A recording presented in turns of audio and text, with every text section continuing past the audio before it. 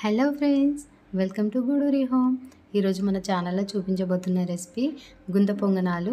మిగిలిన దోశ బ్యాటర్ ఉంటుంది కదా దాంతో నేను గుంత పొంగనాలు చూపిస్తున్నాను.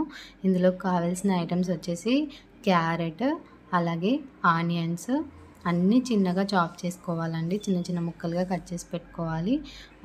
కొద్దిగా పచ్చిమిర్చి అలాగే కొద్దిగా మనం అల్లం ముక్కలండి చిన్నగా కట్ చేసుకోవాలి వీటిని కూడా.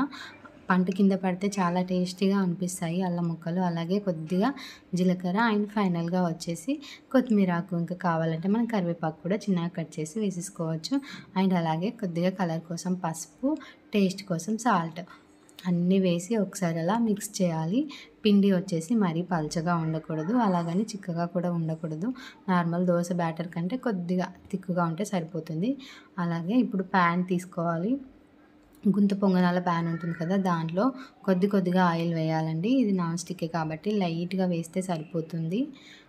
దీంట్లో మళ్ళీ నెక్స్ట్ ఇది వేడయ్యాక కొంచెం సిమ్లో పెట్టుకొని వేసుకోవాలండి గుంత పొంగనాలు. ఇలా ఒక్కొక్క గరిటెతో ఒక్కో స్పూన్ వేస్తే సరిపోతుంది. దానిని దాన్ని సిమ్లో పెట్టి కుక్ చేయాలండి. మొత్తం లోపల కుక్ అయిపోతుంది. స్పాంజ్ లాగా వస్తుంది దానికోసమని. ఇప్పుడు అన్నీ వేయడం అయిపోయింది కదా దీనిపైన ప్లేట్ పెట్టేసి ఒక ఫైవ్ మినిట్స్ అలా లో ఫ్లేమ్లో పెట్టి కుక్ చేయాలండి. చూడండి కలర్ కూడా చేంజ్ అయిపోతుంది కదా కొద్దిగా పసుపు వేసాం కాబట్టి కలర్ అది చేంజ్ అయిపోతుంది. ఫ్రై అయ్యాక కొంచెం గోల్డెన్ బ్రౌన్ కలర్లో వస్తుంది ఇలాగా. ఇలా అన్నీ తిప్పేసుకొని ఇంకో సైడ్ కాల్చుకోవాలి. మళ్ళీ మూత పెట్టాల్సిన అవసరం లేదు. ఆల్రెడీ అవి కుక్ అయిపోయి ఉంటాయి కాబట్టి అలా టూ మినిట్స్ అలా కుక్ అయితే సరిపోతుంది. చూడండి ఎంత స్పాంజీలా ఉన్నాయో. ఇలా తిప్పుకొని కాల్చుకోవాలి అంతే.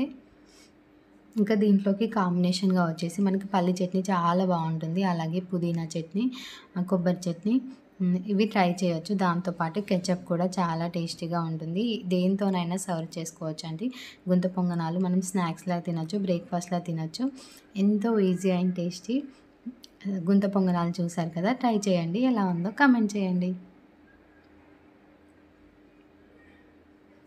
Thanks for watching this video please like share subscribe